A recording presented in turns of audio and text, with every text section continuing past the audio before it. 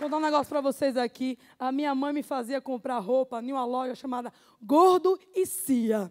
E ela queria que eu entrasse feliz. Ei, que alegria, vamos comprar roupa na gordicia. E eu não entrava feliz naquele lugar, porque o gordo era a gente e a companhia era o magro que estava lá.